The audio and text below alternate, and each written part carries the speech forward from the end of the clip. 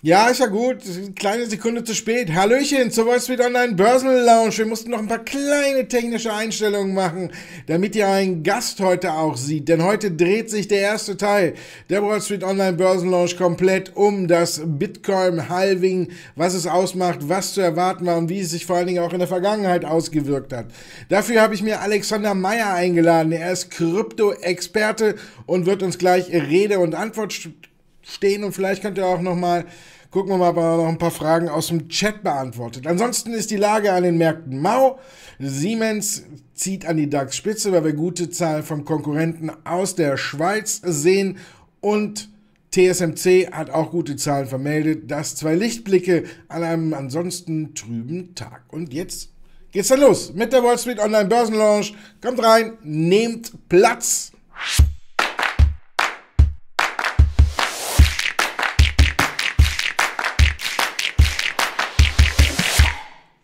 Der DAX war ja eigentlich auch ganz gut drauf. Er ist äh, jedenfalls gut aus den Startlöchern gekommen, ist schön ins Plus gezogen und jetzt mittlerweile hat er seine Gewinne schon wieder komplett abgegeben, ist also wieder unter die Marke von 17.800 Punkten gefallen. Aber das stellen wir jetzt alles, zack, ein Stück weit nach hinten, denn hier ist er.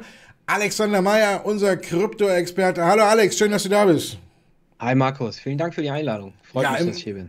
Immer wieder gerne, wenn du zusagst, weil ich kenne mich ja selber nicht so sehr mit Krypto aus.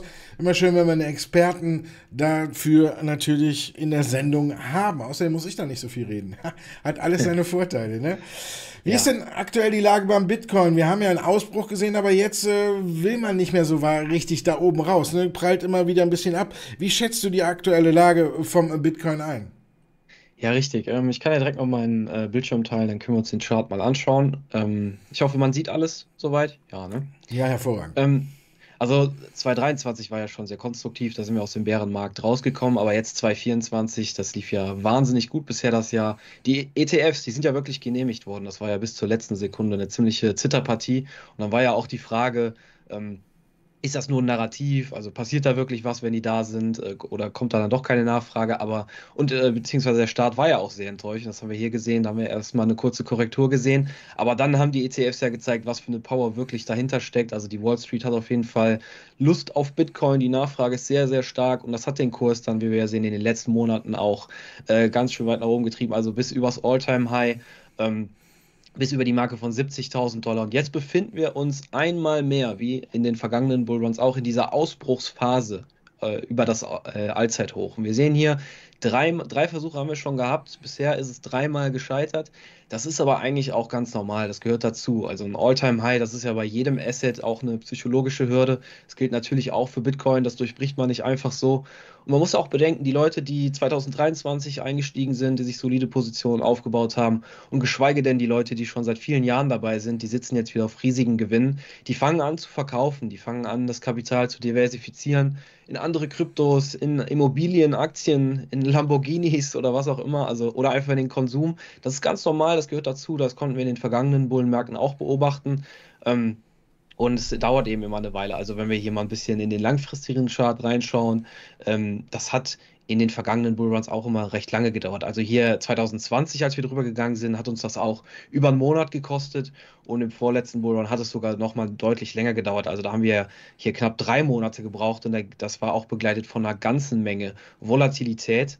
Ähm, ich bleibe aber insgesamt auf jeden Fall sehr optimistisch, dass wir, also dass das noch nicht das Top gewesen ist, sondern dass wir äh, den Bullrun fortsetzen werden und dass wir in den nächsten Monaten dann den Ausbruch in die Preisfindungsphase von Bitcoin dann wirklich sehen werden, also den interessanten Teil des Bullruns. Auch wenn jetzt gerade wieder ein bisschen Gegenwind kommt auf makroökonomischer Seite, du hast es ja auch eben schon angesprochen, der DAX ist ja auch wieder ein bisschen runtergegangen, beziehungsweise beziehungsweise generell die Aktienmärkte. Im Zweifel könnte sich, ja das, sich das jetzt vielleicht wirklich noch eine Weile hinziehen, vielleicht sogar bis zum Spätsommer, wenn wir da die saisonalen Effekte auch bedenken. Aber ich glaube, ein Ende dieses Bullruns war das definitiv noch nicht.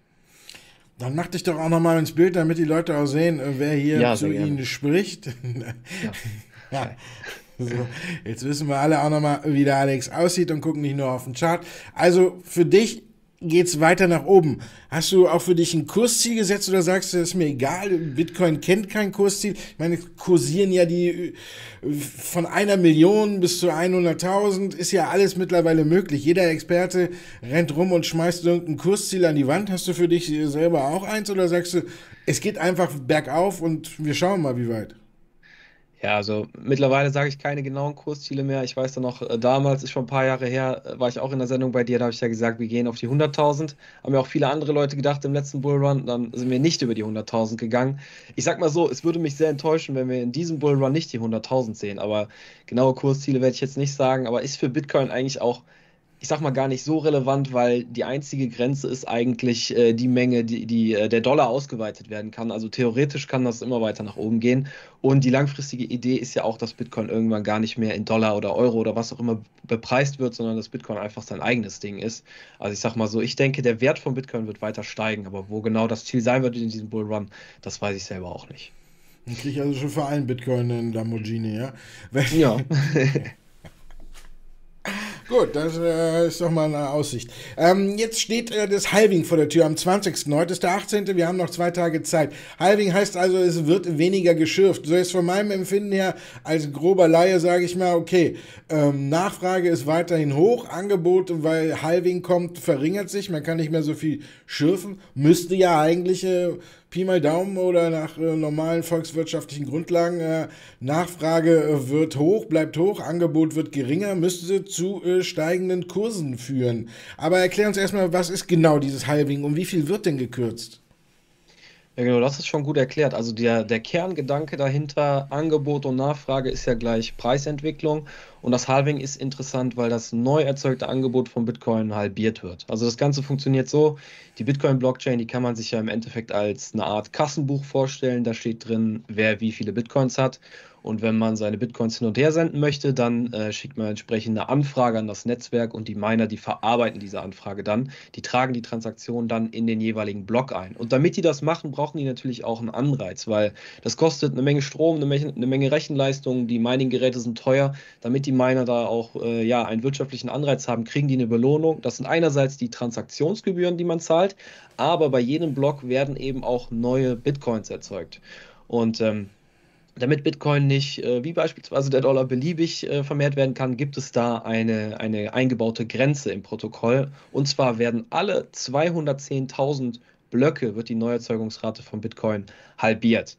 Und äh, es hat in der Vergangenheit drei Halvings bereits gegeben, also 2012, 2016 und 2020. Ursprünglich sind wir mit 50 Bitcoins pro Block gestartet. Mittlerweile sind wir auf, also wenn wir immer die Hälfte gehen, sind wir auf 6,25.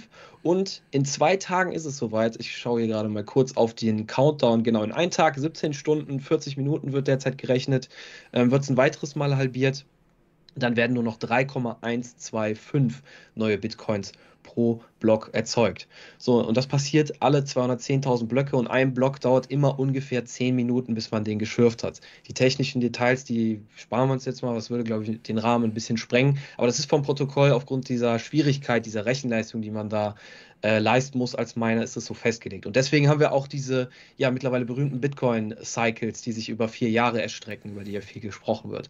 Und das ist eben ein, dieser, dieser Meilenstein, der jetzt in zwei Tagen wieder passiert. Da sehen wir die weitere Halbierung auf dann nur noch 3,125 neue Bitcoins pro Transaktionsblock. Und irgendwann geht es dann auf Null? Ist das alle vier Jahre? Ja, so annähernd, annähernd. Also man sagt ja, es wird maximal 21 Millionen Bitcoins geben. Es wird annähernd 21 Millionen Bitcoins geben. Also irgendwann im Jahr 2140 äh, ist es derzeit ausgerechnet, ähm, findet dann sozusagen die letzte Halbierung statt, wo das noch irgendeine Relevanz hat. Und danach geht das dann in die, weiß ich nicht, die zehnte Nachkommastelle. Also dann werden einfach keine neuen Bitcoins mehr erzeugt. Und dann werden die Miner nur noch Geld verdienen über die Transaktionsgebühren. Ob das dann noch wirtschaftlich tragfähig ist, ja, das müssen wir dann in mehr als 100 Jahren mal schauen, äh, wie die Lage dann aussieht. Na gut, äh, ich äh, wage mal die Prognose, ich werde da nicht mehr schauen, aber vielleicht guckt ja mein Kind, äh, gucken meine Kinder noch drauf, dann kann ich denen noch was mitgeben. Ja. Jetzt ist wer natürlich weiß. die Frage, wie wichtig ist Bitcoin Halving denn wirklich für die Preisentwicklung, für den, für einen neuen Bullrun quasi? Ja, also ich finde, also man muss das zweiteilen auf jeden Fall. Äh, für die Mining-Industrie hat es natürlich eine recht große Relevanz, weil da einfach die Umsätze letzten Endes halbiert werden. Aber die Miner wissen das natürlich, die sind schon lange im Geschäft, die bereiten sich da entsprechend drauf vor.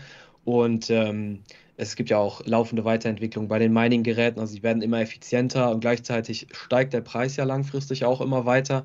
Ähm, deswegen wird die Mining-Industrie das wahrscheinlich, gehe ich mal von aus, wie in den vergangenen Halvings auch gut äh, abfangen, das Ganze.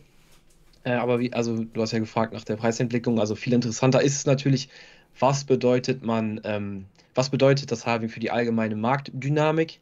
Ähm, haben wir eben schon gesagt, also diese ganz simple Rechnung ist ja geringeres Neuangebot trifft auf steigende Nachfrage. Das ist gut für den Preis. Das ist die, der generelle Gedanke dahinter. Und das ist auch das Argument, ähm, warum in der Vergangenheit immer viele Leute gesagt haben, ähm, dass das Halving so ein, ein relevanter Faktor für diese Zyklen ist. Ich kann ja nochmal den langfristigen Chart teilen, dann hat man das ein bisschen besser im Überblick. Also das Halving ähm, war bisher so, so der, sozusagen der wichtigste Meilenstein. Hier habe ich sie entsprechend eingezeichnet. Für diese vierjährigen Zyklen, die wir bei Bitcoin immer wieder sehen, die immer wieder zu diesen Bullen- und Bärenmärkten geführt haben. Meiner Meinung nach oder ähm, meine Einschätzung ist, das Halving ist größtenteils ein Narrativ. Also die Leute fiebern darauf hin, das ist so ein Meilenstein, dem man entgegenfiebern kann. Aber so große Auswirkungen hat das meiner Meinung nach mittlerweile gar nicht mehr. Und das sehen wir ja auch hier im langfristigen Chart. Ähm, nach den vergangenen Halvings, unmittelbar danach ist die krasse Rallye nie losgegangen. Das hat immer ein paar Monate gedauert, bis da wirklich dann der nächste Bullrun gezündet ist. Und in diesem Bullrun hatten wir ja sogar schon das Novum, dass wir ein neues Allzeithoch bereits vor dem Halving erreicht haben. Früher hat, das, hat Bitcoin ja immer erst deutlich nach dem Halving hat das äh, geschafft. Und äh, deswegen ist das meiner Meinung nach auch so ein Indiz dafür, dass die eigentlichen Preistreiber andere sind. Also ähm, das Halving hat zwar natürlich einen gewissen Effekt, aber der ist wesentlich geringer, als viele denken. Ich glaube, dass das vorhandene Angebot am Markt erstmal eine deutlich größere Rolle spielt. Also im Endeffekt die Bereitschaft der Bitcoin-Halter, sich von ihren Coins zu trennen. Und eine sehr wichtige Metrik, an der man das ablesen kann, ist die zum Handel verfügbare Menge an Bitcoins auf den Krypto-Handelsplattformen. Und die befindet sich in einem kontinuierlichen Abwärtstrend, seitdem die ETFs gestartet sind. Das können wir uns hier ähm, bei dem Dienstleister CoinGlass anschauen ja, es ist so, könnte man so beschreiben, das Bloomberg der Kryptowelt oder, oder einer von mehreren Anbietern, die diese On-Chain-Daten liefern. Und wir sehen hier also hier in Gelb ist der Bitcoin-Preis und hier in Grün. Dieser Chart zeigt eben den Bestand an Bitcoins auf den Börsen und der ist in einem deutlichen Abwärtstrend, ähm, seitdem die ETFs gestartet sind, weil diese Nachfrage einfach immer mehr Coins aufgesaugt hat. Die ETF-Märkte immer, kaufen immer mehr Coins vom Markt auf. Und ähm, ja, Leute, die ihre Bitcoins gar nicht auf den zentralisierten Börsen halten, also in, in ihren Hardware-Wallets halten, die leben sowieso in einer komplett anderen Welt. Dazu gehöre ich ja auch so ein bisschen. Also wir verkaufen Bitcoin sowieso nicht mehr für Fiat-Geld, egal wie der Preis äh, aussieht. Und deswegen ist eben ja das vorhandene Angebot oder die Bereitschaft der Käufer, ähm, Bitcoin zu verkaufen, eigentlich viel relevanter als die Änderung der Neuerzeugungsrate jetzt beim Halving. Also das heißt, äh, ausgehend davon, jeder weiß, das Angebot bei Bitcoin ist selten. Also die einzig, die wirklich wichtige Variable jetzt für den weiteren Bullrun oder für die weitere Preisentwicklung ist die Nachfrage. Und bei der Nachfrage sieht es eigentlich sehr, sehr gut aus. Ja, Nachfrage sowieso, klar, ist okay. Weiterer Ausblick für 24 haben wir eigentlich schon fast geklärt. Ne? Du bist positiv, aber wenn ich mir das so angucke, Halving ist immer genau die Mitte. Ne? Also können wir mit dem nächsten Allzeithoch äh, 25, äh, 26 erst rechnen. Ja, wie gesagt, also ich denke nicht, ähm, dass man sich komplett an den Halvings als ähm, Orientierungspunkte für die Zyklen orientieren sollte, sondern es geht da wirklich, wie das für die Finanzmärkte generell gilt. Das Makrobild ist das, was das letzten Endes entscheidet. Wie gesagt, grundsätzlich bin ich sehr optimistisch, dass dieser Bullrun weitergeht, hängt aber aus meiner Sicht ganz stark mit der Gesamtentwicklung an den Märkten zusammen. An den Aktienmärkten sieht das ja gerade auch schwer danach aus, als würden wir jetzt in eine größere Korrektur übergehen. Ähm, es wird eben diese neue Realität eingepreist, dass die Zinssenkungen in den USA doch nicht wie versprochen kommen oder erst viel später als erwartet kommen. Die Inflation ist immer noch hoch. Ähm, die setzt jetzt im schlimmsten Fall sogar zum, zu einem weiteren neuen Aufwärtstrend an, also dass die Inflation äh, wieder äh, komplett hochgeht. Und diese Doppelbelastung aus hohen Zinsen und hoher Inflation, die sorgt weiterhin für Druck. Und ähm, wir haben das ja gesehen, die großen Tech-Werte, die diese Rallye an den Finanzmärkten in den letzten Monaten ja maßgeblich getragen haben, die verlieren jetzt an Momentum. Und jetzt muss eigentlich mal der breitere Markt liefern. Also jetzt muss sich zeigen, ob wir wirklich in einem normalen Business-Cycle sind und es allgemein wieder bergauf geht, weil die Unternehmen die hohen Zinsen und die Inflation gut verdaut haben und Tech dann nur wie immer der Vorreiter war. oder ob jetzt auch die Quartalszahlen und vor allen Dingen die Ausblicke enttäuschen werden und das Thema Rezession dann doch wieder hochkommt. Und wenn die Märkte dann in eine längere Korrektur übergehen, dann wird das sehr wahrscheinlich auch den äh, Bitcoin-Kurs und den restlichen Kryptosektor erstmal mit nach unten reißen. Äh, ich denke nicht, dass wir da eine Entkopplung sehen werden. Dafür ist es wahrscheinlich immer noch zu früh. Ähm, aber was das langfristige Bild angeht, denke ich trotzdem oder halte ich die, die Geldpolitik immer noch äh, für den wichtigsten Faktor überhaupt, sowohl für Bitcoin als auch für die Aktienmärkte, also für die Finanzmärkte generell. Ähm, es findet eben bereits wieder in den USA eine weitere Geldmengenausweitung statt und da werden wir äh, in, in den nächsten Monaten, gehe ich zumindest von aus, die nächste große Runde sehen. Und das wird das Schießpulver letzten Endes sein, dass die Märkte und vor allen Dingen Bitcoin wieder nach oben katapultieren wird. Also die Wirtschaft hat die hohen Zinsen ja scheinbar ganz gut absorbiert. Bisher zeigte sich ja noch deutlich solide. Aber die Wirtschaft ist ja nicht das Einzige, äh, beziehungsweise der Problemherd liegt ja eigentlich in einer ganz anderen Ecke. Und zwar bei der US-Regierung, denn sie sind in einer Schuldenteufelsspirale schon, schon lange im Grunde. Die USA haben ja einen sehr defizitären Staatshaushalt, müssen immer mehr Schulden aufnehmen, um die ganze Party weiter am Laufen zu halten. Und in der Nullzinswelt, in der wir in den letzten Jahren waren, war das nicht so das Problem. Aber jetzt bei diesen hohen Zinsen dreht sich diese Teufelsspirale immer schneller. Und ähm, wir nähern uns ja mittlerweile auch an den Punkt, an dem am Markt einfach gar keine Ressourcen mehr da sind, ähm, also keine Abnehmer mehr für die neuen Staatsanleihen. Und da muss irgendeine Lösung her. Also irgendwoher muss Liquidität kommen, damit die US-Regierung Abnehmer für die Anleihen finden wird. Und ähm, da wird letzten Endes wahrscheinlich wieder die Fed um die Ecke kommen müssen und irgendwie sich einen neuen Trick aus dem Hut zaubern müssen, äh, um Liquidität herzuzaubern, damit die US-Regierung ihre Anleihen noch losbekommt. Und das bedeutet im Endeffekt wieder eine weitere Geldmengenausweitung und darauf wird Bitcoin wieder sehr positiv reagieren. Ähm, ich möchte auch einmal meinen Bildschirm teilen und einen sehr relevanten Chart zeigen, der das sehr gut äh, verdeutlicht. Hier, das ist auch ein Datenanbieter im Kryptobereich, ein sehr guter. Hier sehen wir den Bitcoin-Kurs im langfristigen Bild und hier unten, das ist die jährliche prozentuale Geldmengenentwicklung des, äh, der globalen Geldmenge M2. Also das ist nicht nur die USA, sondern das sind die vier großen wichtigen Zentralbanken, Europäische Zentralbank, äh, People's Bank of China und Bank of Japan.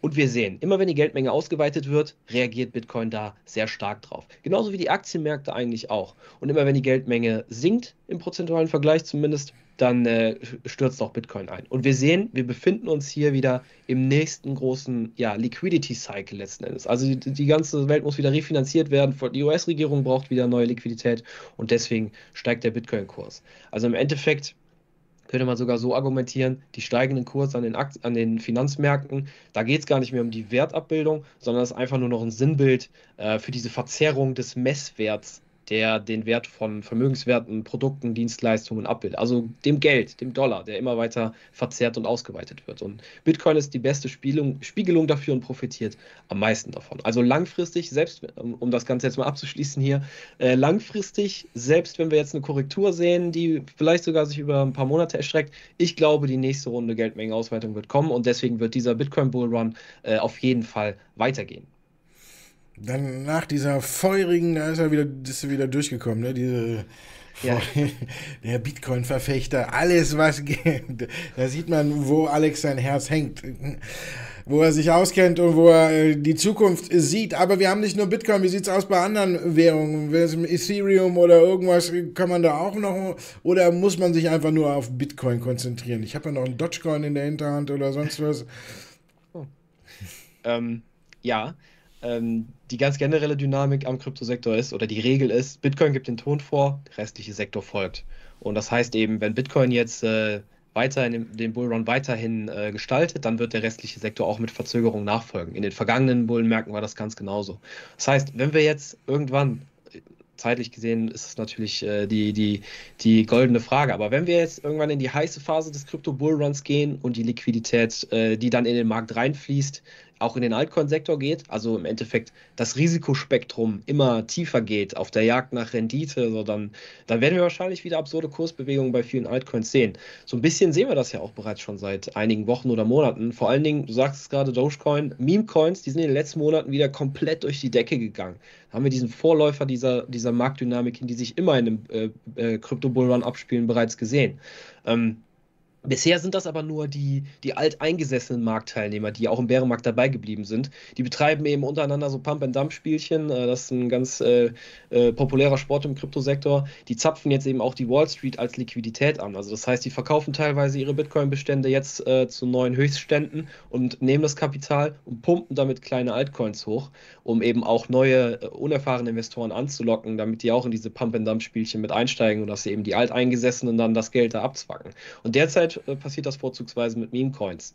Ich gehe mal davon aus, sobald Bitcoin so richtig in die Preisfindungsphase oberhalb des letzten All-Time-Highs steigen wird, dann wird sich wahrscheinlich auch der Mainstream wieder mehr für Krypto investieren, äh, interessieren. Also momentan ist der Mainstream eigentlich noch gar nicht, gar nicht wieder zurückgekehrt. Der Mainstream, also Retail-Investoren, Privatinvestoren, die lassen Krypto eigentlich größtenteils noch an der Seite liegen. Bisher ist nur die Wall Street dabei und pumpt Bitcoin über die ETFs hoch. Aber wenn Bitcoin jetzt, sagen wir mal, er steigt auf einen sechsstelligen Kurs, dann werden die ganzen Glücksritter wieder kommen, die werden am Casinotisch Platz nehmen und die alteingesessenen Krypto-Veteranen nehmen den Leuten dann wahrscheinlich das Geld weg, den meisten zumindest. Und deswegen deswegen vielleicht nochmal so ähm, eine kleine, ein kleiner Hinweis oder eine Warnung am Ende, wenn man komplett neu ist. Lieber erstmal mit Bitcoin anfangen. Altcoins ist wirklich ein wilder Westen. Es gibt natürlich eine Menge Potenzial in dem Sektor, ähm, auch an die Zukunft gedacht. Und es gibt ein paar sehr ernsthafte Sachen im Sektor mit einer Menge Potenzial. Aber für Anfänger in der Hitze eines Bullruns vor allen Dingen der Altcoin-Sektor ein sehr, sehr, sehr gefährlicher Ort. Ja, da treiben wir uns doch gerne rum, ne? An den gefährlichen, dunklen Orten, äh, da sind wir doch äh, zu Hause. Wir haben eine Frage aus dem Chat. Äh, wenn die Notenbanken ihre digitale Währung einführen und vielleicht auch in Bitcoin verbieten würden, äh, wie siehst du das? Ist so ein Szenario möglich an den düsteren oder werden diese düsteren, dunklen Orte dann noch größer?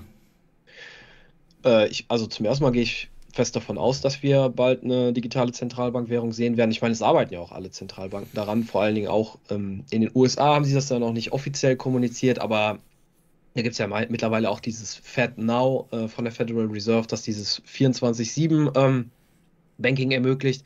Ich meine, perspektivisch ist das ja auch äh, äh, logisch, dass sie über sowas nachdenken, weil womit kann man be noch besser ähm, geldpolitische Moderation betreiben? Natürlich mit einer digitalen Zentralbankwährung, weil du da die Geldströme direkt äh, steuern kannst und moderieren kannst. Deswegen für die Zentralbanken ist es ein sehr, ähm, ein sehr interessantes Konzept und deswegen ist es auch logisch, dass sie daran arbeiten.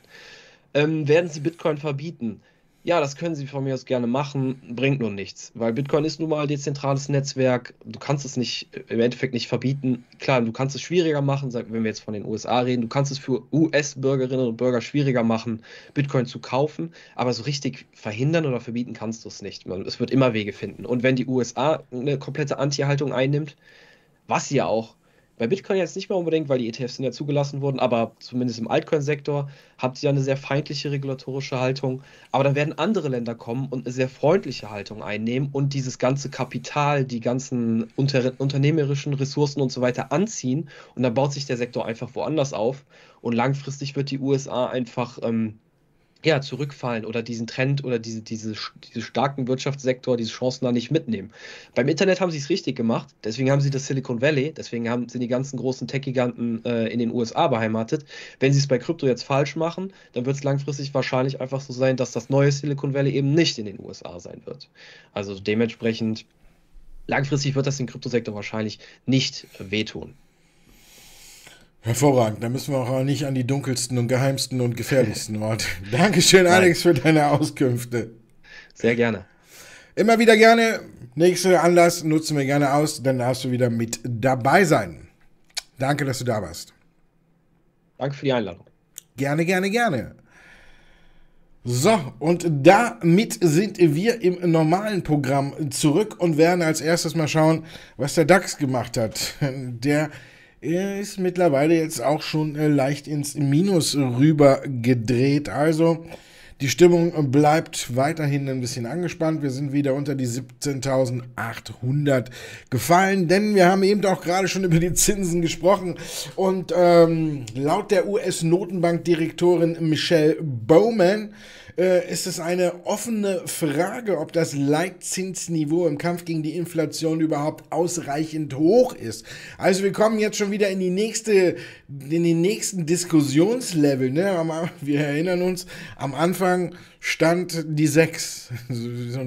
Am Anfang war das Feuer, war der Kinofilm. Ne? Aber ich glaube, äh, wir fangen an. Am Anfang stand die 6, 6 Zinssenkungen im Jahr 2024. Daraus wurden 3, 2, 1. Und jetzt mittlerweile guckt man auch, oder wird auch sogar das Wort Zinserhöhung schon wieder in den Mund genommen. Man muss ja gucken, sollte Israel zurückschlagen und die Ölpreise wirklich nach oben ziehen, dann wird das natürlich die Inflation auch wieder weiter nach oben treiben. Also so un oder so abwegig ist das vielleicht gar nicht. Und jetzt hat die gute Frau Baumann gesagt, ich denke, die Zeit wird zeigen, ob es restriktiv genug ist, sagte sie. Die Fortschritte beim Zurückdrängen der Inflation hätten sich verlangsamt, vielleicht seien sie derzeit sogar auch zum Stillstand gekommen, fügte die gute Frau Baumann hinzu. Also, hier sieht man, wir kommen in ganz neue Gefilde und das belastet natürlich äh, zusätzlich jetzt auch nochmal die Märkte. Die US Futures waren vorhin zumindest im Plus, so leicht um die 0,2 Prozent. Dow, S&P 500 und äh, die Nasdaq. Also, tja, jetzt muss man mal schauen, äh, wie es weitergeht. Sollte tatsächlich das Wort Zins Erhöhung nochmal in den Mund genommen werden, dann weiß ich nicht, wo das Spielchen eventuell äh, noch hingehen könnte. Also so ganz unbedenklich ist die ganze Sache nicht. Wir müssen uns mal abwarten. Korrektur war ja erwünscht und wir nehmen wieder mal als Anlass natürlich zu gucken, bis wohin könnte die gehen. 7,5, die Ausbruch wäre eventuell eine Möglichkeit. Wir können auch sagen, Hoffentlich hält die 50-Tage-Linie. Da sind wir nämlich. Wenn wir jetzt da auch noch drunter fallen, dann wird das ganze Spielchen schon wirklich ein bisschen unangenehm. Dann könnte es tatsächlich noch ein gutes Stück nach unten gehen. Bis zu 16.500 glaube ich nicht. Aber ich glaube dann, dass wir die 17.500 testen. Und hier, wenn sich die Nachrichtenlage nicht bessert, muss man tatsächlich sagen, ähm, auch eine 17.000 ist möglich, wenn man äh, ein bisschen schwarz malt. Ne? Und dann haben wir hier erst die wirklich richtig große Unterstützung, ne? Wo, ab da ist der DAX richtig losgerannt und das könnte alles jetzt schon wieder, ja, aufbrauchen. Wir wollen es mal nicht hoffen, aber es ist im Bereich des Möglichen. Wir sind jetzt äh, auch im DAX am kritischen Punkt, fallen wir unter die 50-Tage-Linie. Dann könnte es noch ein gutes Stück weiter nach unten gehen. Und da muss man dann natürlich gucken, wie geht man damit um, ne? Säubert man das Depot oder kneift man einfach nur die Augen zu und sagt, naja, wird schon alles wieder besser gegen Ende des Jahres. Wir müssen mal angucken, ne? Also die ganz großen, na, jetzt großen Kursbewegungen, die Ziele für den S&P 500, was nicht alles nach oben gesetzt wurden. Ne? Und jetzt sind wir wieder an der Schwelle, wo es vielleicht andersrum aussehen könnte. Viele Werte heute im DAX, deswegen auch nicht so im Plus. Vor allen Dingen reißt uns natürlich runter, dass Sartorius heute mal wieder ordentlich eine verbraten 17,41 Prozent.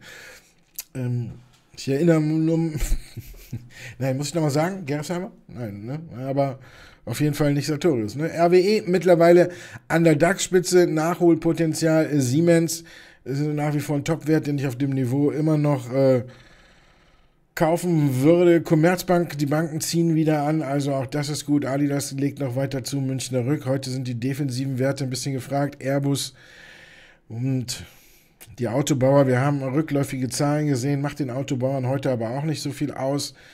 Hinten Sartorius, Rheinmetall, die Rüstungswerte ist mal wieder, weil er sich auch jetzt in den USA äh, Goldman Sachs zu Wort gemeldet hat. Wir gucken gleich mal drauf. Sie haben auch gesagt mal wieder, dass sie bei Rüstungsaktien mehr Abwärts- als Aufwärtspotenzial sehen, haben aber wieder vier, das muss man wieder feinen Gliedern haben, aber vier Aktien ausgeklammert. Und eine davon ist heute der zweitschwächste Wert im DAX. Deswegen kann man ruhig darüber nachdenken. Wir gucken gleich nochmal drauf, ob Rheinmetall dieser Rücksetzer nicht eher eine Chance ist oder ob es jetzt hier komplett weiter nach unten geht. Zahlen haben wir heute gesehen äh, bei Taiwan äh, Semiconductor. Mittlerweile ist die Aktie auch im Minus, obwohl die Zahlen gut sind, aber Tech-Werte stehen gerade allgemein alle ein bisschen unter Druck. Wenn wir uns das angucken, es ist eigentlich alles wirklich gut gelaufen bei TSMC. Ne? Man rechnet mit einer deutlichen Umsatzsteigerung im zweiten Quartal. Jetzt in den ersten äh, drei Monaten, ähm, tja, hat man wirklich gut äh, geliefert. Und jetzt rechnet man damit, dass man im zweiten Quartal einen Umsatz von 16, 19,6 bis 20,4 Milliarden Dollar hinlegen wird. Das sind ungefähr 18,4 bis 19,2 Milliarden Euro. Also das ist wirklich ein hervorragender Ausblick. Man rechnet äh, damit, äh, dass ein bisschen äh, die Nachfragedelle bei Handys sich wieder ein bisschen auflöst. Also muss man sagen, ist wirklich alles gut. Warum die Aktie jetzt so richtig im Minus ist, weiß ich auch noch nicht genau. Aber es ist allerdings heute ein bisschen eher, dass wir eine Schwäche bei den Tech-Werten sehen. Aber ich würde mich davon auch nicht aus der Ruhe bringen lassen. Wenn ich sie hätte, würde ich sie auf jeden Fall behalten. Ich würde auch bis 120 mit nach unten marschieren. Und das wäre so auch das Signal, wo ich mir für alle, die sich für die Aktie interessieren, äh, wo ich mich auf die Lauer legen würde. Also, ich würde heute, also kann nichts Schlechtes an den Zahlen finden.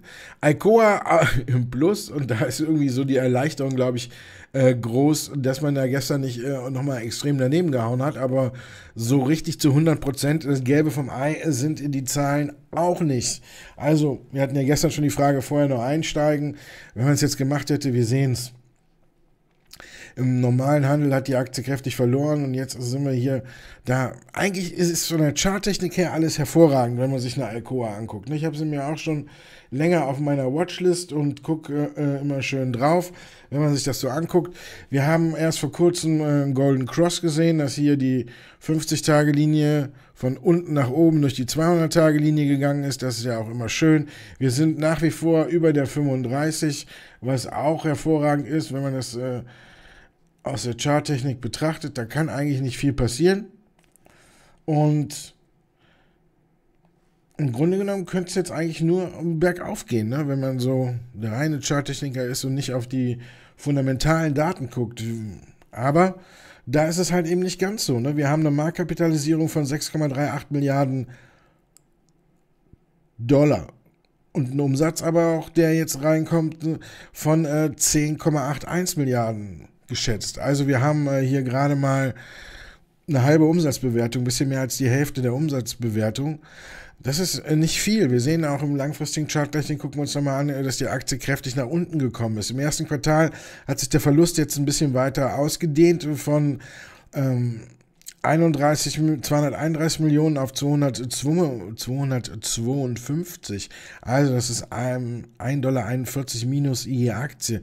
Der Umsatz hat leicht um 2,6 Prozent auf 2,6 Milliarden nachgegeben. Insgesamt war das besser als die durchschnittliche Prognose der Analysten. Also dieses neue, ne, nicht so schlecht wie erwartet, ist gut. Haben wir hier denn jetzt bei äh, Alcoa auch gesehen. Man rechnet damit, dass es jetzt wieder peu à peu aufwärts geht äh, und die Übernahme von Aluminia LTD ist auch abgeschlossen. Also insgesamt ähm, ganz gut, muss man jetzt sagen. Wer mutig ist, geht jetzt hier rein. Ich denke, auf lange Sicht kann das nicht so sehr schaden. Denn die Aktie hat tatsächlich, wenn wir uns das angucken, noch einiges Luft nach oben. Wir sehen es hier, die 40 ist, glaube ich, so das erste Ziel, was die Aktie ansteuern könnte, wenn es am Rohstoffmarkt und alles so weitergeht. Aktuell sind Rohstoffwerte ja so eher so ein bisschen der sichere Hafen. Alles geht ein bisschen in den Rohstoff rein, Kupferpreise steigen und alles. Haben wir ja auch schon oft genug besprochen. Alcoa im Groben gehört ja noch so ein bisschen mit dazu.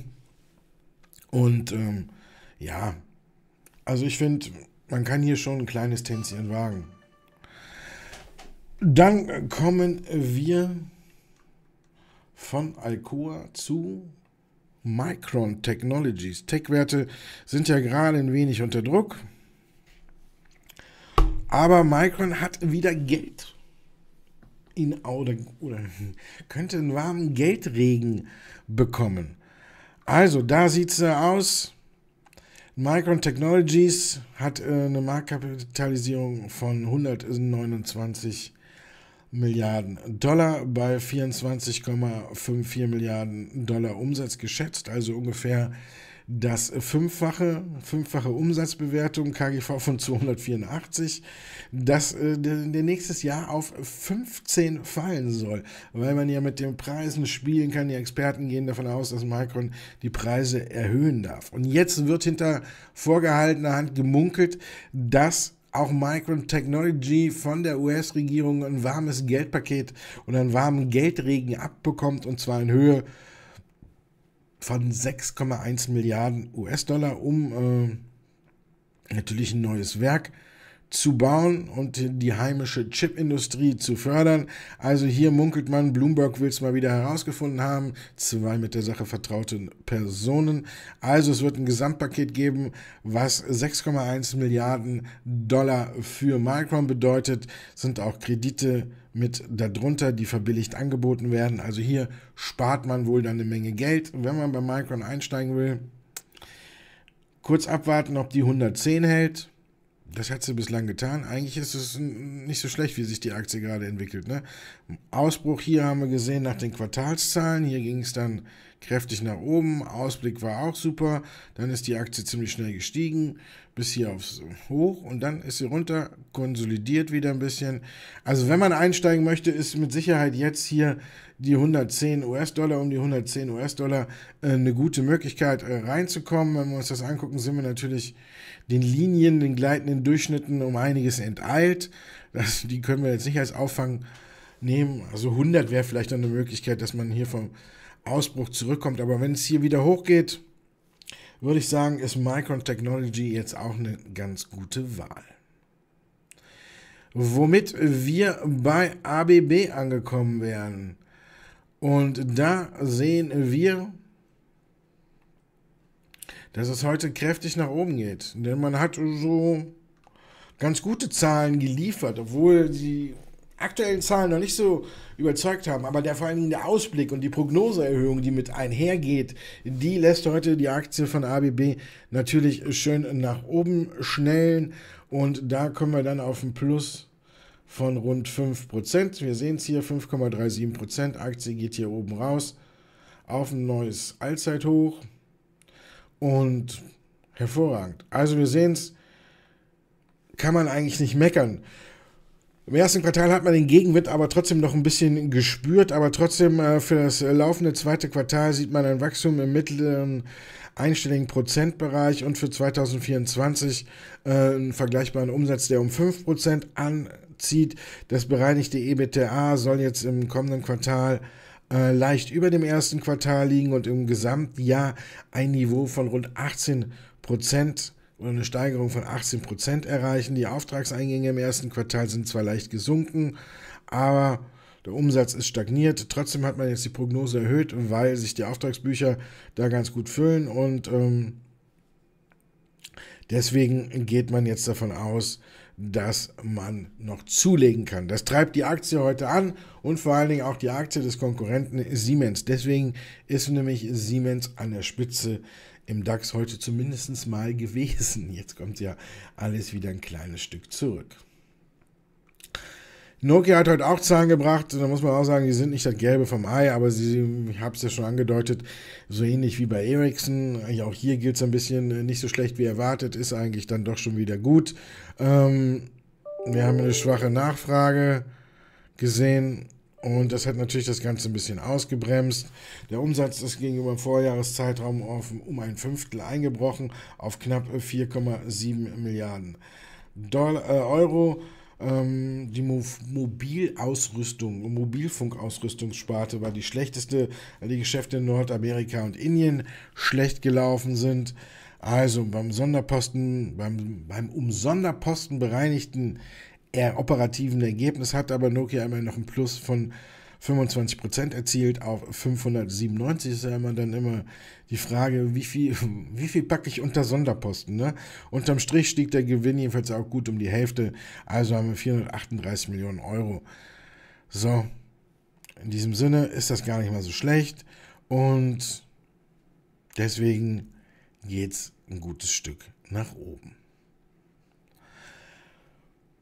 Xiaomi hat eine höhere Nachfrage nach seinen Autos, haben wir aber auch schon drüber gesprochen, treibt die Aktie heute ein bisschen mehr nach oben, denn man hat gesagt, die Nachfrage ist deutlich höher als erwartet. Aber wir haben auch gestern schon drüber gesprochen, je mehr Autos die verkaufen, desto größer ist der Verlust, weil sie ja selber auch schon gesagt haben, mit dem Autos auf, bei dem aktuellen Preiskampf, den wir auf dem chinesischen Markt sehen, können wir kein Butterbrot gewinnen, also müssen wir unter Wert verkaufen. Deswegen ist halt die große Frage, ob ein reißender Absatz jetzt wirklich die Aktie auch antreiben sollte, weil das den Verlust größer macht und es irgendwie auch nicht abzusehen ist, dass der Preiskampf in China irgendwann enden wird, weil man da so viele Anbieter hat und Xiaomi ja selber ein Beispiel dafür ist, dass man als noch eigentlich als äh, Mobilfunkgerätehersteller, als Smartphone-Produzent äh, jetzt auch noch Autos baut. Aber viele Experten Deswegen steigt die Aktie auch im Grunde genommen. Gehen davon aus, dass eben Xiaomi dadurch die Handyentwicklung alles einen technischen Vorteil gegenüber vielen chinesischen Autobauern hat, auch gerade was die Vernetzung des eigenen Fahrzeugs angeht. Das ist so ein bisschen der Treiber und deswegen guckt man nicht so genau darauf, dass man mit den verkauften Autos eigentlich jetzt äh, Verlust macht. Müssen wir mal abwarten. Wir kennen es, wir wissen die Situation. Trotzdem ne, wird dann äh, keiner sagen, wenn die Zahlen kommen und da auf einmal, äh, keine Ahnung, wie viel Milliarden höheren äh, Verlust stehen, unterm Strich wird dann äh, keiner sagen, ja, haben wir alle mit gerechnet, ist ja nicht so schlimm, sondern dann werden wieder alle sagen, nein, so viel, nee, da verkaufe ich die Aktie lieber wieder. Also damit muss man auch rechnen, das kennen dieses Spielchen und abwarten. Ist eine sehr gute Halteposition, auf jeden Fall weiterhin, bis wir mehr wissen. Vielleicht verdient man ja an anderer Stelle mehr. Damit kommen wir zu Goldman Sachs, die auch, wie andere schon ähnlich gesagt haben und gesagt haben, wir glauben, dass wir uns mitten in einem Superzyklus der Verteidigungsausgaben befinden, hat jetzt die Investmentbank unter der Leitung von Victor Allett geschrieben. Aber sie gehen auch noch davon aus, dass äh, insbesondere die europäischen Fahr Verteidigungsausgaben voraussichtlich jährlich durchschnittlich wachsen und zwar ähm, um 4,5 Prozent im Zeitraum von äh, 2022 bis 2027. Vergleichszeitraum zwischen 2015 und 2020 waren es äh, nur 3 Prozent. Also, da ist jetzt die Steigerung. Und deswegen sagen sie auch noch, europäische Verteidigungsaktien haben, den, haben die Superzyklen genau verfolgt und werden jetzt mit Spitzenmultiplikatoren 20-fache des 12-Monats-Forward-Kurs-Gewinnverhältnis gehandelt. Und das ist natürlich ein bisschen viel. Was im Ausschlag von rund äh, 45% gegenüber dem Referenzindex, Sie nehmen da den Stocks 600, äh, feststeht. Deswegen sagen sie, dass ja aktuell eher die Abwärtsrisiken, die Aufwärtsrisiken äh, bei den Banken gefährden. Sie haben aber trotzdem vier Aktien rausgepickt, wo sie langfristiges Wachstum aufgrund der großartigen Auftragslage und äh, aufgrund der Zukunftsthemen, die in diesen Unternehmen gehandelt werden, sehen. Drei davon kennen wir bestens. Thales ist hier unten. Der grüne hat man nicht so oft äh, auf, mit dabei. Das hier ist Airbus. Wir machen es mal groß, dann können es alle drauf sehen. Ne? Hier haben wir dann unten Thales, Airbus, Rheinmetall, die heute zurückkommen. Und ganz oben ist aktuell Rolls-Royce. Die Aktie ist ja auch sehr gut gelaufen. So, bei drei Aktien würde ich nachkaufen. Thales ist mir zu, bin ich zu weit weg. Aber ne, Airbus, glaube ich, hat noch eine glänzende Zukunft vor sich, auch wenn wir jetzt sehen, äh, dass wir hatten es ja auch schon erst äh, diese Woche, dass äh, Rolls-Royce und Airbus zusammen vielleicht hier einen riesen Wartungsvertrag von Turkish Airlines bekommen. Es hängt alles zusammen mit der Bestellung. Ich glaube, 280 Flieger hat Turkish Airlines bei Airbus bestellt und das soll sich dann noch abfärben mit Wartungs- und Ersatzteilverträgen, die Rolls-Royce und Airbus bekommen. Das munkelt man, hat natürlich Ich glaube sogar auch wieder Bloomberg rausgefunden. Und deswegen sind Airbus und Rolls-Royce für mich die allererste Wahl. Rheinmetall habe ich ja auch im, im, Musterdepot drin. Den Rücksetzer hier würde ich heute auch eher ausnutzen. Ich glaube, es geht wieder weiter mit Rheinmetall. Wir haben eine Schwächephase, auch wenn jetzt einige äh, darüber diskutieren, wo der, warum der Schwächeanfall kommt. Ich glaube, wenn die Aufträge kommen und alles sich wieder ein bisschen beruhigt, dann wird auch die Aktie von Rheinmetall äh, wieder zulegen. KTP hat Dukaten. Hm. So. Also, wenn wir die drei oder vier miteinander vergleichen, Thales hat eine Marktkapitalisierung von 32,47 Milliarden Euro. Rolls-Royce hat ein bisschen mehr, 33,57, macht dafür aber ein bisschen weniger Umsatz. Rheinmetall ist noch kleiner als beide. Die haben nur, bringen nur 23,09 Milliarden auf die Waage und der größte ist natürlich Konzern dieser, in diesem Quartett ist Airbus mit 126 Milliarden Euro Marktkapitalisierung. Vom KGV her nehmen sie sich eigentlich auch alle nicht ganz so viel, aber hier ist Thales vorne. Thales hat ein geschätztes KGV von 20 fürs laufende Jahr. Rolls-Royce fast 27, Rheinmetall 26,4 und Airbus 22,4. Also würde ich sagen, trotzdem bleibe ich bei Airbus und Rolls-Royce gerade und dann Rheinmetall. Vorwärts KGV äh, liegt bei Airbus bei 19,4, bei Rheinmetall bei 19,1, bei Rolls-Royce 23 und auch bei Thales bei 19,3. Da sind sie also fast alle gleich. Nur Rolls-Royce kippt ein wenig aus der Reihe. Trotzdem, das ist die Ausnahme. Auch wenn man bei den überwiegenden Aktien in Goldman Sachs jetzt ein Abwärtsrisiko sieht, hier haben sie sich vier Aktien rausgepickt, wo sie sagen, da liegt es besser. Allerdings hatten wir von gestern Alcoa, heute TSMC und Nokia. Und ganz wichtig für die Stimmung, Wahrscheinlich heute Abend Netflix. Allerdings wird schon gemunkelt, dass das Ganze ein bisschen zurückgeht, mit, weil man ja eben diese Doppel-Accounts eingeschränkt hat, dass es immer weniger wird. Aber insgesamt rechnet äh, der breite Markt noch mit positiven Zahlen bei Netflix. Intuitive Surgical gucken wir uns natürlich auch an, haben wir natürlich wieder ein bisschen KI und alles mit drin. Da werden wir morgen auch nochmal in aller Ruhe drauf gucken. Dann haben wir noch American Express, Procter Gamble haben wir also morgen schon wieder vier interessante Unternehmen, die auf jeden Fall in der Sendung mit drin sind. Sartorius. Vorhin waren es elf. Jetzt sind es 16. Ich äh, sag's nochmal, ne? Hey, mit 3 R, dann findet man es. Laufen, gleich. Trotzdem, wenn ich die Wahl hätte, würde ich eben nach wie vor einen Gerresheimer nehmen. Aber wir sehen hier, sie tun, wenn man reingeht, natürlich, wenn äh, Sartorius schlechte Zahlen mal, dann belastet es ein bisschen die ganze Branche. Aber bei äh, Sartorius muss man erstmal wieder auf positive Signale warten. Die Zahlen waren es bis jetzt nicht und die Aktie kommt auch nicht so richtig aus dem Quark raus und jetzt hier unten, ja, wir hoffen auf bessere Zeiten und jetzt hören wir zum dritten Mal, ja, in zwei Quartalen soll alles besser werden. Ne?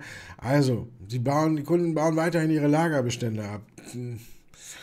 Ja, müssen wir mal gucken. Die müssen aber auch ein riesiges, riesiges Lager von Sartorius-Produkten aufgebaut haben. Also die müssen ja fast nur Sartorius äh, durchhauen. Also, Gleichzeitig, ne, man sagt, der Professor, ähm, bauen ihre Lagerbestände weiter ab. Der Prof, der, ich wollte jetzt sagen der Professor, aber der Sartorius-Chef Joachim Kreuzburg ist kein Professor, sondern er sagt, der Prozess im Kerngeschäft mit Verbrauchsmaterialien ist auf einem fortgeschrittenen Niveau. Allerdings gibt es in China und auch in Teilen Europas äh, zurückgehende Investitionsmöglichkeiten oder Investitionszurückhaltung. Also man muss ja abwarten. Also insgesamt die Zahlen waren wirklich nicht äh, das Gelbe vom Ei. Und jetzt geht es wieder bergab. 250 kann man es vielleicht mal wieder versuchen, 225, wenn sie die Nummer testet. Ich wünsche keinem, der die Aktie hat. Aber ich würde sie weiterhin nicht anfassen. Hingegen ist Siemens viel interessanter. Auch hier sehen wir so in dieser Range, die wir jetzt hier zuletzt gesehen haben. Zeitlang ist die Aktie zwischen 160 und 170 gependelt. Dann hat sich das Ganze hier ein bisschen nach oben verschoben. Das hier war vielleicht auch ein bisschen zu schnell. Jetzt sind wir hier wieder und sind so in der Mitte. Das ist so die letzte Chance. Siemens ist äh, einfach immer am meisten unterschätzt. Es läuft und brummt und äh, Prozessautomation und alles ist Siemens ganz weit vorne. Ich habe mir hier schon oft den Mund fusselig geredet, ne? aber nach wie vor finde ich, ist, Siemens wirklich ein, ein Top-Wert, auch wenn man sich das Ganze äh, fundamental anschaut. Wir haben äh, eine Marktkapitalisierung von 135 Milliarden beim Umsatz von 80, also ist noch nicht mal das Doppelte. Also da sind andere äh, schon viel schlimmer bewertet. KGV 16,9, Dividendenrendite 2,87 geschätzt für dieses Jahr, Nettoergebnis 8,15 Milliarden. Man ist gut aufgestellt in Indien. Auch hier wird man äh, weiter mitgehen, wo alle anderen äh, noch hinwollen, ist Siemens auch schon da. Also von daher äh, profitieren sie heute natürlich, dass Konkurrent ABB ähm, das Ganze hier ein Stück nach die Prognose erhöht hat. Deswegen rechnen jetzt alle bei Siemens auch mit guten Zahlen. Ja, letzte Möglichkeit. Über 180 wäre ich erstmal wieder ein bisschen vorsichtig, würde erstmal gucken, aber um die 170 hier war die Möglichkeit, hatten wir auch schon, da hätte man durchaus zugreifen sollen. Rheinmetall haben wir schon abgehakt, ob es man ausnutzen sollte nach äh, den Rücksetzer oder nicht. Ja, Eichstron wäre ich natürlich ein bisschen vorsichtig, aber man ist heute auch äh, den ja, Gerüchten immer entgegengetreten, denn seit einer Analystenmeinung wird also bei einer Nachfrageschwäche von Eichstron ausgegangen und wir sehen, äh, diese Nachfrageschwäche hat die Aktie ganz schön in den Keller gedrückt, auf ein Tief hier, auf ein Mehrjahrestief bei 21,34. Heute geht es wieder ein Stück weit nach oben, weil sich eben Eichstron auch zu Wort gemeldet hat und gesagt hat, ähm, dass schwächere Geschäfte mit Siliziumkarbid-Fertigungsanlagen, auch kurz SIG, S kleines i, großes C, SIG-Fertigungsanlagen, ähm, dass das nicht stimmen würde. Der US-Halbleiterkonzern Wolfspeed hat nämlich im dritten und im vierten Quartal mehrere Aufträge für solche Anlagen erteilt und die Produktion, um die Produktion im Bereich von 200 mm Siliziumkarbid-Wafern auszubauen. Das haben sie heute mal mitgeteilt. Bedenken in puncto einer nachlassenden Nachfrage, ähm, die gibt es halt eben schon seit Ende März. Da gab es eine ähm, Studie von der BNP und die hatte neue Sorgen oder neue Nahrung für diese Sorgen geliefert. Ja, das ist jetzt heute mal ein Lichtblick, aber wie der so weitergeht, weiß ich noch nicht. Ich bin da noch ein bisschen vorsichtig. Ich würde da jetzt auf jeden Fall noch nicht hinterher springen. Auch wenn wir jetzt sehen, dieser kurzfristige steile Abwärtstrend hier ist äh, vorbei. Trotzdem würde ich mir dafür wünschen, wenn wir das jetzt so machen, würde ich erstmal das obere Ende abwarten und gucken, ob die Aktie dann ein Stück zurückkommt, dass die Aktie wieder komplett in diese, sich in diesem Tunnel hier nach oben arbeitet. Das aber nach da lang geht, wird es ein bisschen schwierig. Ne? Ähm, zu früh. Gute Aussagen des Unternehmens, können wir nicht drüber müssen wir nicht drüber streiten, aber trotzdem, wir haben eine Marktkapitalisierung von 2,42 Milliarden bei 678 Millionen Umsatz geschätzt für dieses Jahr. Also 14, 21, 3, ein bisschen mehr als das Dreifache des Umsatzbewertung. KGV 16,8 soll Richtung 13,9 fallen. Dividendenrendite 1,92. Mir ist das Ganze noch ein bisschen zu früh. Da würde ich lieber aktuell bisschen mehr bei Sixt reinschauen, denn hier hat die Deutsche Bank, ist aber auch schön, ne? Das ist immer dieses, ne? Ähm, Hold und Kursziel von 120 lässt die Aktie fallen. Buy und ein behaltenes Kursziel von 120 lässt die Aktie um fast 5% steigen. Das Kursziel hat die Deutsche Bank nicht verändert, aber ihre Einstufung von Hold auf Buy. Naja, wenn der Aktie bei 62 liegt und das Kursziel lautet 120, dann guckt man normalerweise gar nicht so genau darauf, Hold oder Buy, ist fast 100%. Da geht man doch schon mal ein bisschen genauer an die Sache ran. Seit Jahresbeginn läuft die Aktie nicht, sie liegt 8,3% im Minus. Heute geht es nach oben. Wir haben eine ungefähre Bewertung auf Umsatzniveau. Marktwert ist 3,65 Milliarden, geschätzter Umsatz ist 3,73 Milliarden. Wir sehen also von daher, geht man davon aus, ist noch extrem Luft nach oben. Wir haben KGV von 12, der Richtung 11 fallen soll und eine Dividendenrendite, die bei 4,27 liegt. Ich würde kurz abwarten, ob die 65 hält und wenn die hält, dann würde mich auch nichts halten. dann würde ich einsteigen. Also auf jeden Fall. Müssen wir abwarten. Die Lage im Nahen Osten hat man auch äh, sich genau angeguckt und da ist auch für Six nicht viel zu verlieren, dass sie eher auf diese kurzfristigen Reiseturns steht, dass man ein Auto im Urlaub nutzt oder sonst was und nicht äh, irgendwie langfristig und äh, auch nur über Partnerfirmen im Nahen Osten ein bisschen vertreten sind. Also da ist auch nicht so viel zu befürchten. Ja, man hat äh, die Deutsche Bank jetzt eben gesagt, es geht rauf von Hold auf Buy, Kursziel bei 120 beibelassen und äh, äh, begründet wurde die Hochstufung äh, mit der Erwartung, dass die Gewinndynamik im späten Jahresverlauf wieder positiv wirkt. Also, positiv wird. Nehmen wir es doch mal so hin. Und gucken uns ein paar Sixt-Aktien an. Das Musterdepot hier heute äh, läuft nicht so ganz zurecht. Äh, das ist aber auch keins, was ihr noch schon sehen sollt. Hier haben wir zumindest noch mal ein kleines Plus, weil sich die Aktien hier nicht so richtig bewegen. Das ist ja auch nicht schlecht, ne? Insgesamt. Die Zuschauerfragen habe ich auf morgen verschoben, weil ich nicht genau wusste, wie lange wir uns mit dem Alex unterhalten. Und deswegen habe ich gedacht, bevor die Sendung fünf Stunden lang wird, habe ich sie hier aber noch stehen. Also morgen gibt es Cardio, Therapeutics, Minaric, Lucid und Iron Mountain. Die habe ich alle nicht vergessen. Die stehen hier noch und die wird es dann morgen geben. Aber trotzdem komme ich natürlich noch mal kurz in den Chat. Mann, Mann, Mann. Nix als Brassel. Hallo. Hallo Domdala. Lufthansa wäre ich ein bisschen äh, vorsichtig äh, mit den Zahlen. Da würde ich jetzt kurz abwarten, wie das Ganze aussieht. Ähm, die Zahlen abwarten. Hier waren jetzt viele Streiks und, und, und alles. Äh, und deswegen muss man mal gucken. Also, wäre ich jetzt noch vorsichtig, würde ich die Zahlen abwarten. Ja, Drone Shield ist gestern äh, richtig abgegangen. Wir haben einen neuen Vertrag mit der NATO geschlossen. Haben aber, glaube ich, heute ähm, direkt eine Kapitalerhöhung, was ja auch äh, Sinn macht, hinterhergeschoben. Daher schreibt Wolfimacher auch, äh, stark gestiegene Wachstumserfahrung möchte Kapitalerhöhung notwendig machen. Ja. Also Kapitalerhöhung versus Vertrag mit der NATO. Insgesamt läuft das aber gut. Ich glaube, die kommen immer weiter. Äh, muss man mal gucken.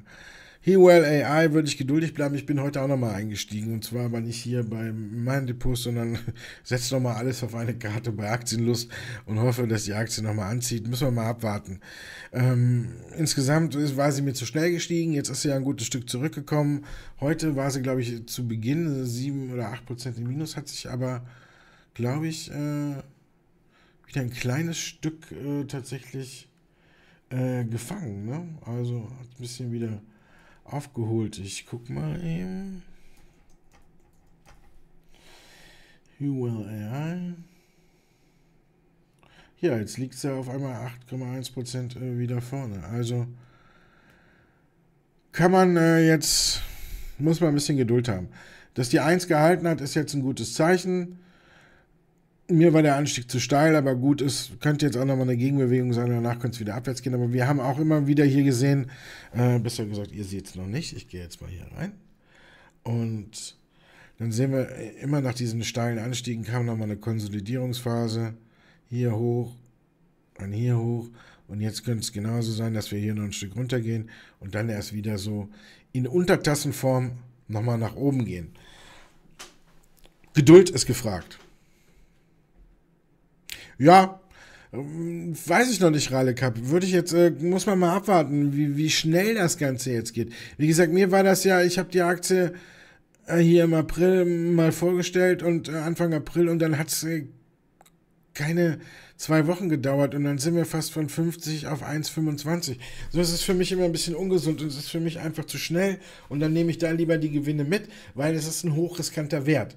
Jetzt muss man gucken, wie lange die Aktie braucht, bis sie wieder auf 1,30 geht. Geht sie da ganz langsam und gemütlich hin und es ist eine normale Entwicklung, dann würde ich da sagen, kann man auch darauf äh, tippen, dass es vielleicht noch ein bisschen höher geht. Das ist einfach nur die Frage der Schnelligkeit. Und das ist immer so Sachen. Es ist ein, ja, wir müssen uns nichts vormachen. Es ist ein Penny Stock, wo wir noch nicht genau wissen, wo die Entwicklung endet. Es kann sein, dass es ein Riesending wird. Es kann aber auch sein, dass es vielleicht nicht äh, zu 100% so aufgeht, wie sich das alle vorstellen. Aus diesem Grund muss man bei Penny Stocks immer vorsichtig sein. Und die Chance, dass aus so einem Penny Stock so eine richtige Granate wird, ähm, die ist jetzt auch nicht gerade so extrem groß. Also muss man hier wirklich abwarten. Man muss immer mal gucken. Ich sage ja auch gerne immer, wenn das wirklich so eine absolute hundertprozentige Granate wären und die da irgendwas wirklich durchgehauen hätten, was 100% super ist, dann müsste man ja auch sehen, dass hier LAI gerade mal eine Marktkapitalisierung, wir hatten es nämlich heute, weil bei Aktienlust darf man nämlich nur äh, ab 100 Millionen aufnehmen und ähm, die liegt gleich drüber, dann würde die einer sofort wegschnappen, ne? wenn das jetzt hier um die Ecke ist. Ich kann ja nicht äh, sagen, ich habe die Kartoffel erfunden, die die Welt mit Strom versorgt und äh, meine Aktie steht bei 1 Euro. Wenn dem tatsächlich so wäre, dann äh, würde mir das Patent sofort einer aus den Händen reißen. Äh, das sind immer so diese zweischneidigen Schwert. Man muss sich da ein bisschen abwarten. Ganz so steil sollte das Ganze nicht sein und deswegen äh, muss man hier wirklich ähm, mal abwarten, wie sich das Ganze dann weiterentwickelt. So pauschal zu sagen, da oben steige ich wieder aus, weiß ich noch nicht. Weiter bei Monster Beverage investiert bleiben, ja, würde ich auch. CTS Eventum äh, kann man auch noch mit an Bord bleiben. Und deswegen äh, geht es nach oben.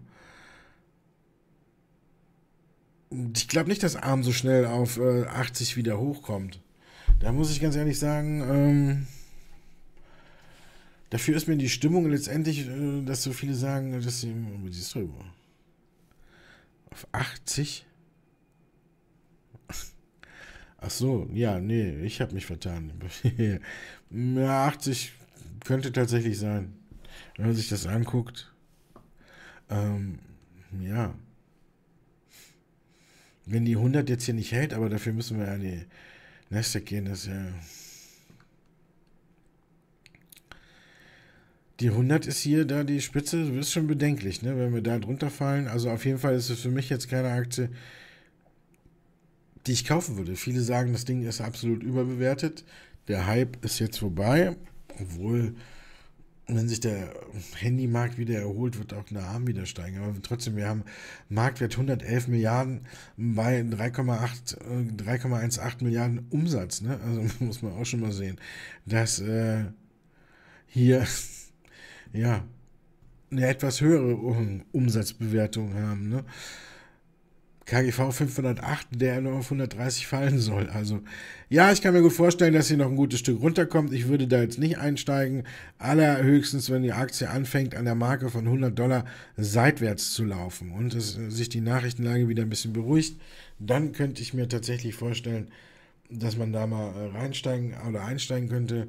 Aber solange nicht gewiss ist, dass wir hier, ne, zack, drunter fallen, denn Gaps wollen geschlossen werden. Die Richtung ist manchmal egal. Weil das war mit Sicherheit hier eine absolute Übertreibung. Die Zahlen waren nicht schlecht, aber die haben das nicht rechtfertigt, dass die Aktie so in die Höhe geschossen ist. Das war wirklich KI-Hype auf seinem äh, absoluten Höhepunkt. Raleigh Capital von Carter P. geadelt. Nicht schlecht. But wann geht's endlich mal wieder los? glaube ich, nicht so schnell. Ähm, ich würde sagen, ich finde Altria, Altira, Altria, Altira besser. But ist äh, dieser jahrelange äh, super Dividenden-Mythos. War ja auch äh, Ewigkeiten so, muss man ja auch sagen, aber ist halt eben nicht mehr so. Und äh, ich weiß nicht, also ich würde da aktuell sagen, na, wo haben wir es denn? Ich bin auch doof. Ähm, gehen wir auf TradeGate. Dann Analyse.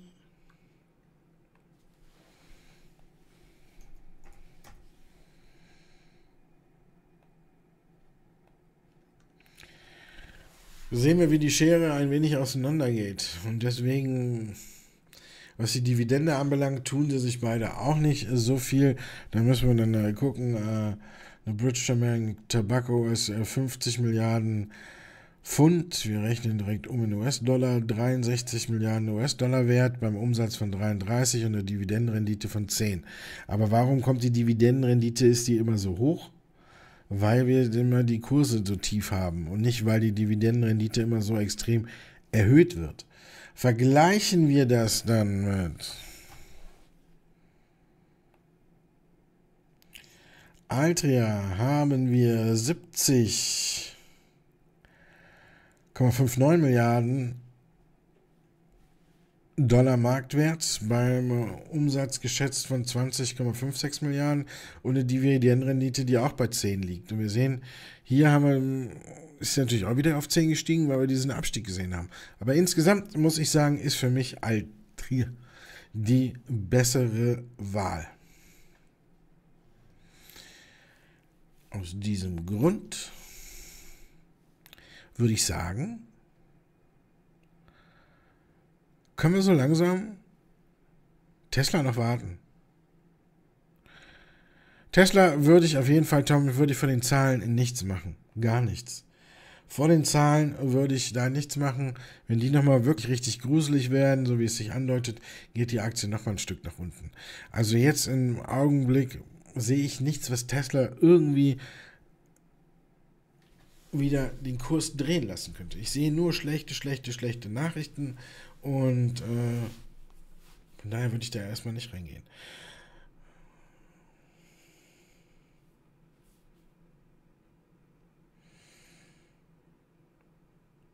Naja, ich glaube noch nicht mal. Wir hatten vorher noch nie so Treiber das mit dem Chip, im Chipsektor. Ich glaube, meine Erfahrung ist ja nicht so viel wert, weil wir irgendwie eine Gleichfrage oder früher nur so eine leicht anziehende Nachfrage vielleicht in den TV-Geräten oder irgendwo hatten mit Chips und alles. Jetzt haben wir auf einmal äh, Rechenzentren, die wie wild gebaut werden müssen, weil jeder möchte den äh, schnellsten, größten und KI-fähigsten äh, Computer äh, haben und deswegen ist jede Regierung da weit vorne. Ähm, jeder möchte einen Chatbot am Start haben, der überall mitwirkt. Deswegen werden ist die Nachfragesituation so explodiert.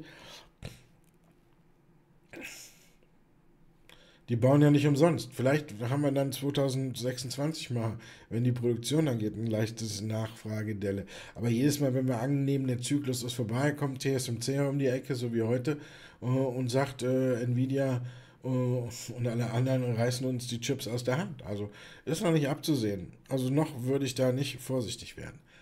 Und aus diesem Grund würde ich sagen, mein KI-Chip geht so langsam zum Ende. Also, machen wir doch einfach Schluss für heute. Ist doch, äh, das Wetter wird wieder schöner. Wir machen ähm, kleines Päuschen und sehen uns morgen dann nochmal wieder mit den Zuschauerfragen, die übrig geblieben sind. Was beim Krypto-Halving alles passiert und wie man damit umgehen soll, wissen wir auch. Also haben wir heute alle wieder was Gutes dazugelernt. Ich wünsche euch daher einen wunderschönen Donnerstag. Wir sehen uns morgen und dann feiern wir zusammen den Weg ins Wochenende. Den anderen Satz, der 5 Euro ins Phrasenschwein kostet, den verkneife ich mir. Schönen Dank, dass ihr heute dabei wart. Wenn es euch gefallen hat, ihr wisst, ein Däumchen dürft ihr immer da lassen.